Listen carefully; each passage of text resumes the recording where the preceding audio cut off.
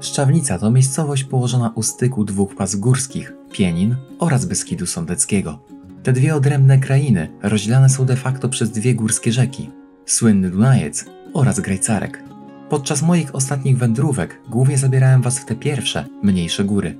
Dla odmiany tym razem postanowiłem, że ze Szczawnicy wyruszymy na północ. Naszym celem będzie trekking w pasmo Radziejowej, czyli w najwyższy masyw Beskidu Sądeckiego.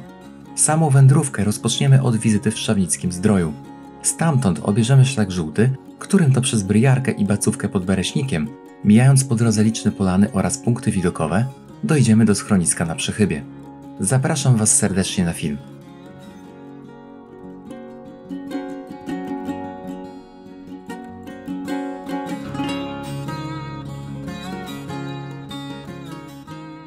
Dzień dobry moi drodzy.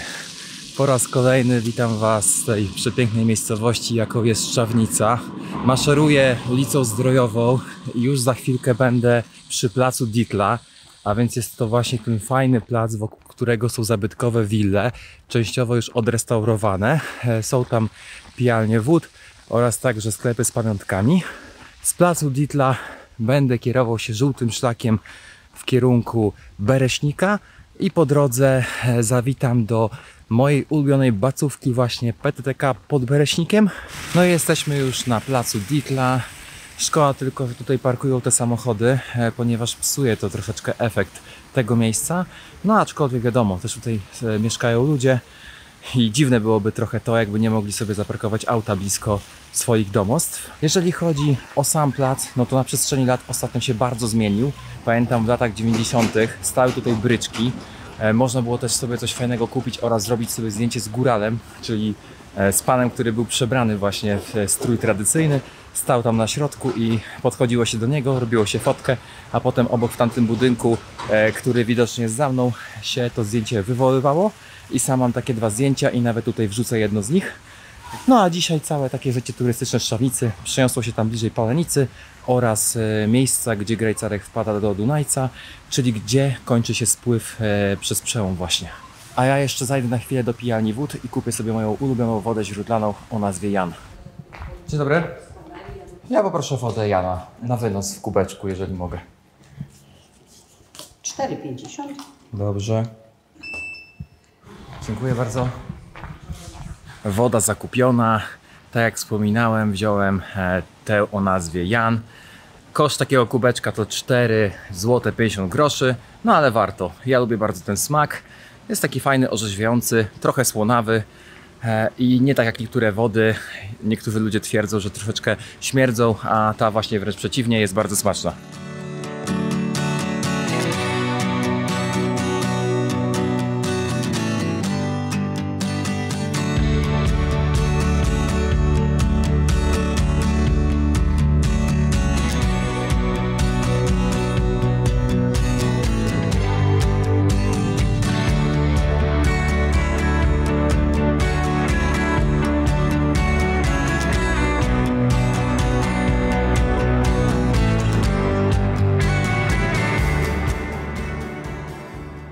Doszliśmy do miejsca, gdzie znajduje się pierwsza tabliczka, którą dzisiaj miniemy. Jest to szlak koloru żółtego.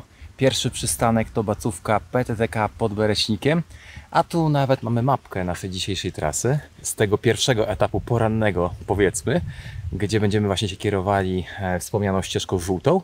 No a potem przy bacówce pod Bereśnikiem jeszcze zadecyduję, gdzie pójdę dalej, ale to będzie na 99% właśnie przechyba. Standardowo jak jestem w Szczawnicy, to rzucę także jakimś takim sentymentem, wspomnieniem.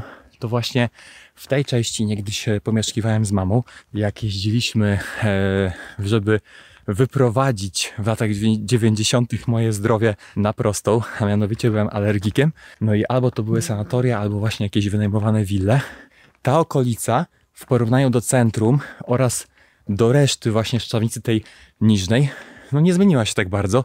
Nadal te wszystkie pensjonaty, wille są bardzo autentyczne, stare. Wiadomo, że standard nie będzie w nich jakiś wysoki, ale za to jeżeli chcemy poczuć magię gór, wyciszenia, pomieszkania gdzieś wyżej, no to zdecydowanie rekomenduję właśnie e, te części tego miasteczka. No dobrze, kochani, to rozpoczynamy pierwsze podejście dzisiaj na trasie. Na początku drogą utwardzoną, częściowo wyłożoną kostką. E, I co ciekawe, wzdłuż właśnie tej trasy prowadzi także droga krzyżowa na Bryjarkę, czyli nasz ten szczyt, o którym wspominałem przed chwilą. Na tym szczycie jest e, postawiony krzyż, który w nocy jest poświetlony. No i jest on też e, taką wizytówką nocnej szczawnicy.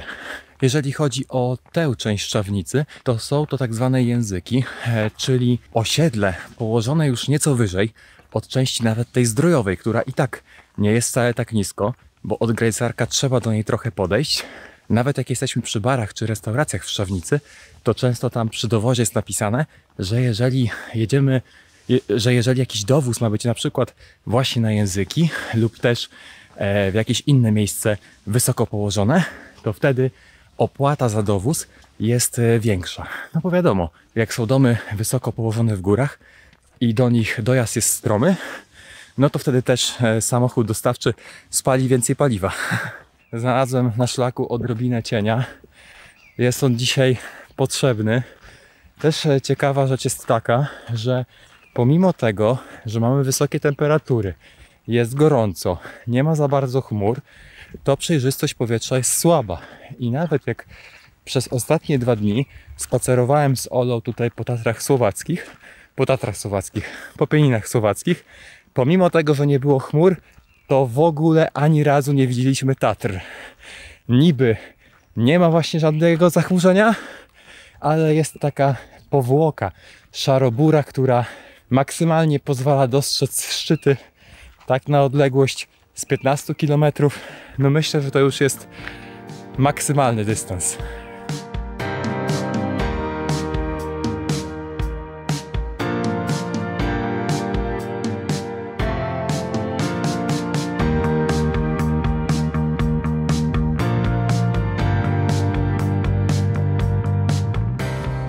Pierwszy punkt na trasie zdobyty, Bryjarka, a więc e, szczyt, wierzchołek, na którym został pobudowany krzyż, bardzo podobny do, tego, który został e, postawiony na Giewoncie, tylko że myślę kilka razy mniejszy.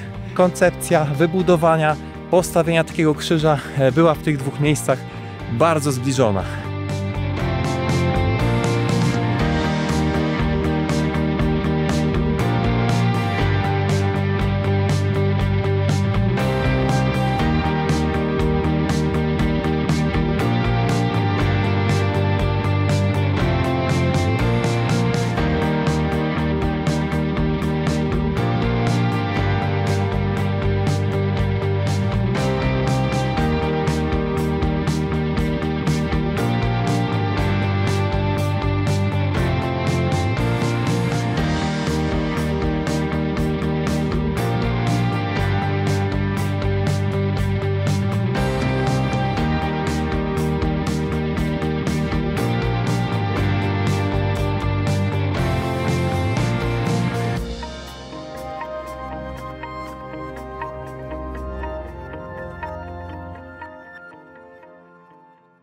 Zostawiam ze sobą pierwszy cel naszej dzisiejszej wędrówki, a mianowicie szczyt Bryjarki. Widoki z tego miejsca zawsze są dla mnie taką sentymentalną podróżą wstecz, gdzie wspominam moje lata dziecięce i nasze familijne wycieczki górskie właśnie z, ze Szczawnicy w kierunku Beskidu Sądeckiego. Były to wspaniałe czasy, zawsze będą mi się kojarzyły z czymś pozytywnym, z czymś przyjemnym. Jeżeli chodzi o widoki z samej Bryjarki, to moim zdaniem z roku na rok są one troszeczkę, może nie słabsze, ale bardziej ograniczone, gdyż te wszystkie polany, łąki w okolicy szczytu zarastają. No i niestety już nie ma takiej otwartej przestrzeni e, i widzimy tylko skrawek szczawnicy wyżnej oraz niżnej. Wszystko ratują e, Tatry, które o dziwo dzisiaj, pomimo tej słabej przejrzystości powietrza, i tak są widoczne przez nas na tym wyjeździe po raz pierwszy, więc i tak jesteśmy szczęśliwi. Do tego także widać główną grań małych pienin, widać także magurę spiską, pieniny właściwe. Poza tym jeszcze widoki jakieś są, ale nie wiem jak długo, ponieważ wszystkie te rośliny, drzewa liściaste pną się do góry w bardzo szybkim tempie, no i nie wiemy co tam zastaniemy za kilka lat. Przede mną widzę już najwyżej znajdujące się zabudowania na tak zwanych językach szawnickich. Kolejny przystanek zrobię w Bacówce. Tam być może zamówię sobie coś przy ladzie albo zjem coś z moich zasobów, które mam w plecaku. Warunki są dobre, słoneczko znajduje się za mną, a więc nagrzewa mi kark i łydki. Z kolei przynajmniej nie świeci prosto w oczy. To jest naprawdę duże ułatwienie i spory atut tej wędrówki właśnie, że wiedzie ona początkowo na północ. Tutaj także po mojej lewej jest piękny ogród. Zawsze jak ten przechodzę, to zwracam uwagę na te kwiaty. No wygląda to naprawdę fajnie. Widać, że ktoś dba o swój ogródek i bardzo dobrze. Fajnie, bo też nasza droga co chwila chowa się w cieniu. Dla mnie jest on dzisiaj naprawdę mile widziany. Bardzo lubię takie chwile ochłody. No dzięki temu potem w dalszej części dnia człowiek jest mniej zmęczony i zachowa więcej sił na bardziej wymagające etapy dzisiejszej trasy.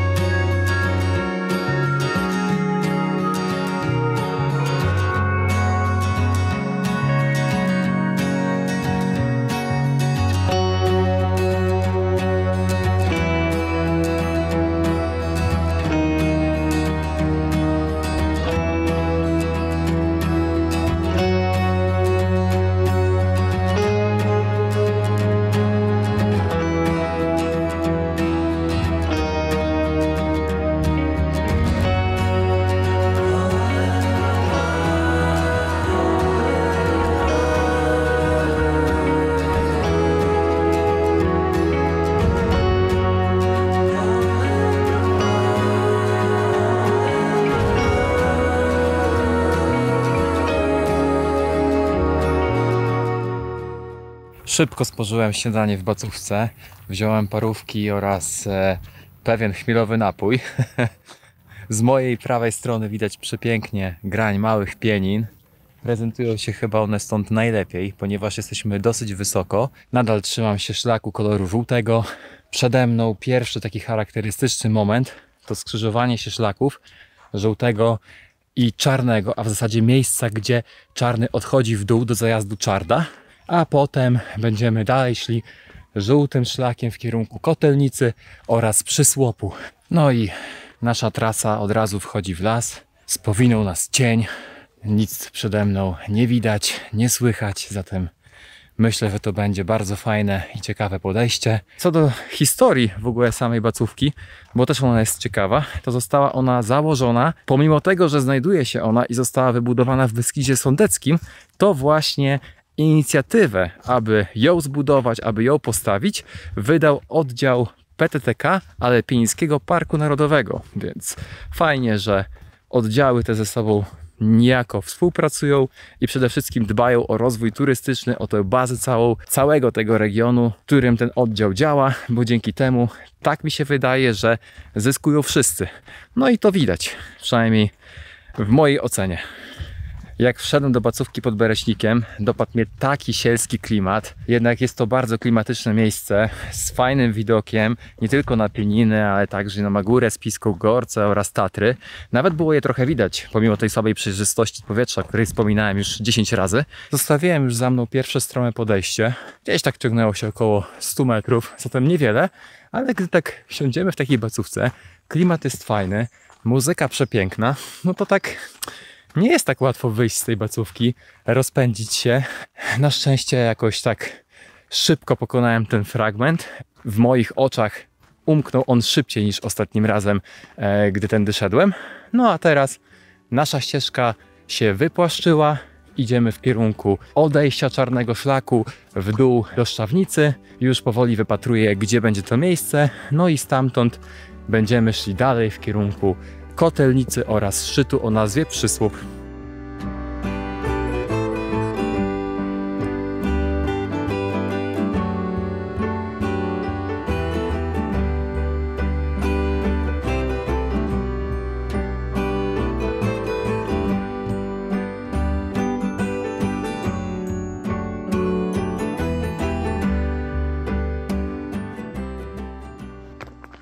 Dzień dobry.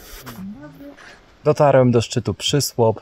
Wysokość 991 metrów nad poziomem morza. Jest to szczyt znajdujący się obok dzwonkówki, na którą także prowadzą e, szlaki turystyczne. Jak widzimy, nasz szlak żółty tutaj doszedł do szlaku czerwonego, a więc do głównego szlaku beskidzkiego. Mamy tutaj tabliczkę, która pokazuje ile czasu zajmie droga turyście do Krościenka, jest to półtorej godziny. Z kolei nie ma tabliczki informującej o tym samym, tylko że w kierunku na przechybę. Nie wiem, albo odpadła, albo być może ktoś ją urwał. No mam nadzieję, że nie, że jednak po prostu została zniszczona i gdzieś leży tutaj w tych krzakach lub gdzieś spadła z roztopami. No ale cóż, czasami słyszy się o tym, jak ktoś właśnie zabiera te tabliczki i następnie gdzieś wiesza u siebie w domu. No dla mnie to jest dziwne, bo można podobny produkt kupić gdzieś w internecie. Mnóstwo jest takich sklepów. Nie są to drogie rzeczy. Zatem jeżeli ktoś tutaj ogląda i ma taki pomysł, aby coś takiego robić, no to stanowczo nie rób tego, tylko zajrzyj gdzieś na stronę internetową i kup sobie taką tabliczkę. Nie będę robił tutaj przerwy, gdyż czeka mnie teraz zejście. Będzie to w sumie dla mnie ok, gdyż troszeczkę tętno mi wzrosło, a na zejściu zawsze ono spada. Pozostało mi tylko jeszcze wyciągnąć sobie kawę, którą przygotowałem z rana, a później przelałem ją do bidonu, który mam ze sobą. Myślę, że to zejście będzie idealnym momentem, aby właśnie trzymać e, ten bidon w ręku i powolutku sobie popijać jeszcze całkiem ciepłą kawkę.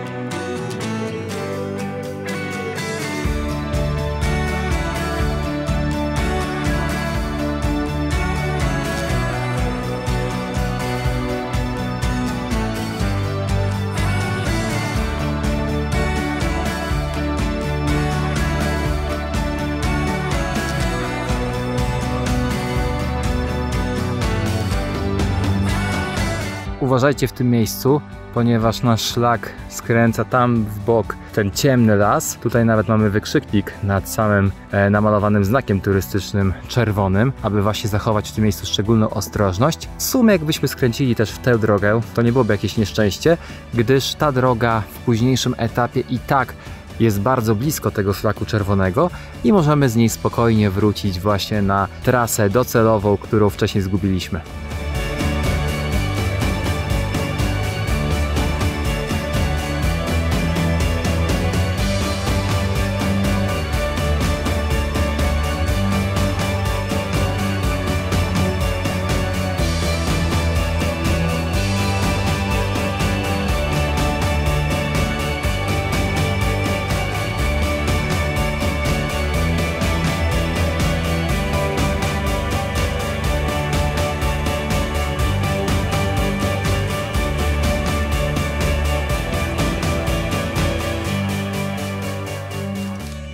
Zejście z dzwonkówki już za mną. Teraz mijam zabudowania na przełęczy, też przysłop. Przez chwilę właśnie myślałem, że ta przełęcz nazywa się pod przysłopem, ale jednak tak, że nosi tą samą nazwę e, co szczyt, przy którym byłem jakieś pół godziny temu. Dalej przemierzamy Beskid Sądecki i pasmo Radziejowej. Przede mną tutaj widzę, że miejscowi wykonują jakieś prace ogrodowe. Słyszę też piłę spalinową i w końcu ktoś za mną idzie. Chyba tata z synkiem albo z córeczką. Zatem bardzo się cieszę, że też jacyś turyści poza mną wybrali dzisiaj tę trasę. Takim charakterystycznym punktem właśnie na przełęczy Przysłop jest e, odejście drogi, którą można sobie spokojnie zejść do Szczawnicy, do jej osiedla zwanego Sewerynówką. Poza tym na przełęczy Przysłop znajduje się pomnik, który został poświęcony żołnierzom tragicznie zmarłym w trakcie walk, które toczyły się podczas II wojny światowej z okupantem. Jest tam właśnie wielki głaz oraz powiewa flaga biało-czerwona naszego kraju. Przed chwilą minąłem odejście niebieskiego szlaku do Obidzy. Szczerze mówiąc, odbicie właśnie tej trasy jest masakrycznie mało widoczne. Trzeba praktycznie samemu wiedzieć, gdzie ten szlak odbija, żeby się połapać i dobrze zejść. Tym bardziej, że jeszcze ta ścieżka teraz jest e, na łące, która jest świeżo wykoszona, więc nawet nie widać, że coś tam jest wydeptane. Panowie, którzy tutaj mieszkają wysoko w Obidzy, ponieważ już za przełęczą przysło wszystkie te budynki, to właśnie już Obidza, a nie Szczawnica Dzisiaj pracują przy sianie. Widziałem, że tam widłami przerzucali i suszyli już ściętą dawno trawę. Ten szczyt, który widzicie za mną, nosi nazwę Rokita. Ma on wysokość 850 metrów nad poziomem morza. I właśnie gdy zejdziemy z tego szczytu, to dojdziemy do przełęczy, z której to nasza trasa zaczyna być mega ostra. I wejście tym szlakiem naprawdę męczy. Zresztą za chwilkę pokażę Wam, jak to wygląda przede mną. A wygląda to tak. Nie wiem, czy to widać na kamerze, gdyż zawsze kamera nieco przekłamuje rzeczywistość. A tam e, z mojej prawej strony jest informacja o tym, że w tym terenie występuje głuszec, a więc taki wielki ptak, który sobie często chodzi po łąkach e, wysoko w górach i jest tam oczywiście opis, charakterystyka tego gatunku oraz dlaczego jest on chroniony i są tam także instrukcje dla turystów, jak oni powinni się zachować, gdy takiego ptaka na swojej drodze spotkają. A ja już idę w kierunku tego podejścia, startuję, mam nadzieję, że sprawnie je pokonam i myślę, że coś jeszcze przed samą przechybą dla Was nagram.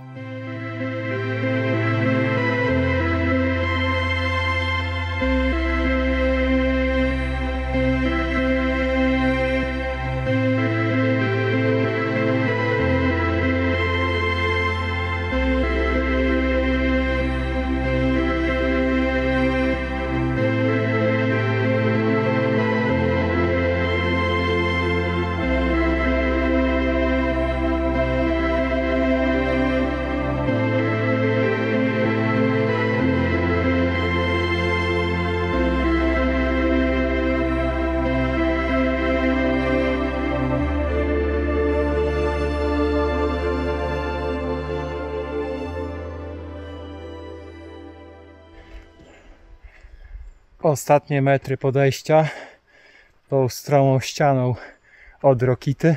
Dało mi popalić, naprawdę się zmęczyłem. Wypiłem chyba na nim z litr wody, ale celowo wyciągnąłem aparat, aby nagrać e, siebie dla Was i żebyście zobaczyli, ile mnie to właśnie kosztowało. Uu, jeszcze w tej temperaturze mamy 28 stopni, część podejścia w słońcu. Było co przezwyciężyć a ja już wchodzę do cienia. Powoli ścieżka się wypłaszcza. Zostało mi dosłownie 20-30 metrów przewyższenia na tym podejściu i potem już będzie light do samej przechyby, do samego schroniska. Z mojej lewej strony mijam masyw skałki, którego wysokość wynosi 1169 metrów nad poziomem morza. Też widziałem wcześniej, był taki mały punkt widokowy, który pozwalał dostrzec już maszt radiowo-telewizyjny na przychybie oraz widoczną za nim radiową, a więc najwyższy szczyt całego tego pasma górskiego. I tam też e, wszystkie kopuły były odkryte, więc cały las został tam zniszczony. Jest to dla mnie widok dziwny, ale być może trzeba będzie się do niego przyzwyczaić ostatnie metry, gdzie nasz szlak jeszcze idzie po takiej ścieżce leśnej i teraz wchodzimy już na drogę utwardzoną, która będzie nas prowadziła do samego schroniska. Tutaj nawet e, fragment za mną był jeszcze asfaltowy, no ale to mniejsza z tym. Tutaj też się będzie dobrze szło, ponieważ e, całość jest bardzo dobrze ubita. Myślę, że to jest perfekcyjna nawierzchnia dla rowerzystów. I też nic dziwnego, że tutaj wszędzie są ścieżki i trasy rowerowe, bo naprawdę warunki dla kolarzy są komfortowe.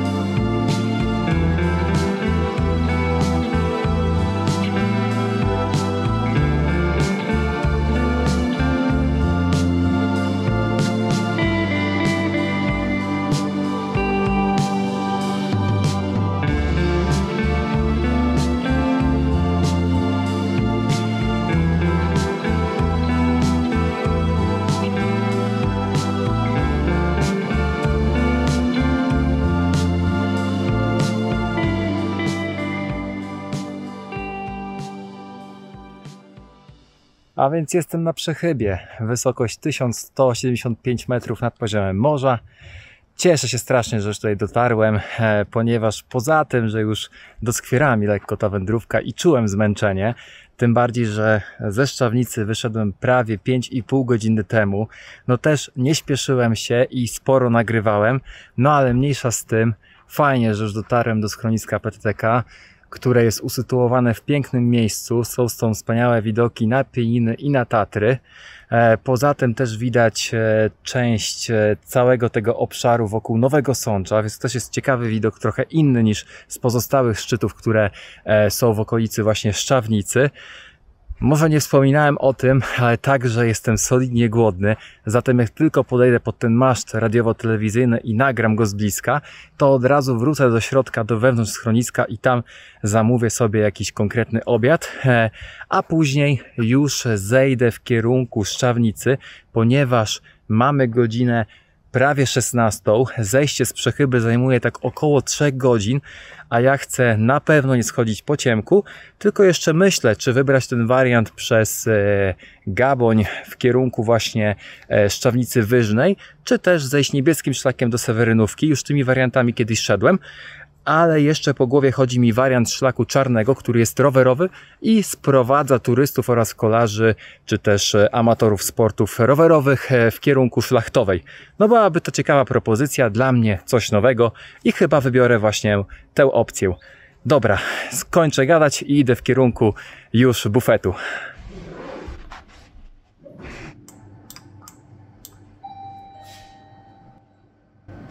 Zamówiłem obiadek, tak jak mówiłem. Już spotkałem towarzysza, z którym sobie chwilę pogadam. Dzięki e, koledze będę mógł podładować trochę sprzęt, aby nie iść na low battery, tylko jednak na większym zapasie mocy dla moich sprzętów elektronicznych. No i cóż, siadam i jem, bo naprawdę już burczy mi w brzuchu. Kotlet solidny, kapustka też schowana pod nim i kawusia. Mmm. Tym smacznym kulinarnym akcentem kończymy pierwszą część naszej wspólnej wędrówki. Dodam, że niemal 10 lat temu bardzo dużo wędrowałem po Beskidzie Sądeckim i z tych wypraw powstawały pierwsze filmy, które umieszczałem na moim kanale. Zapewne jak dostrzegliście, to w wielu miejscach w tym materiale zamieściłem pamiątkowe zdjęcia z naszego albumu rodzinnego.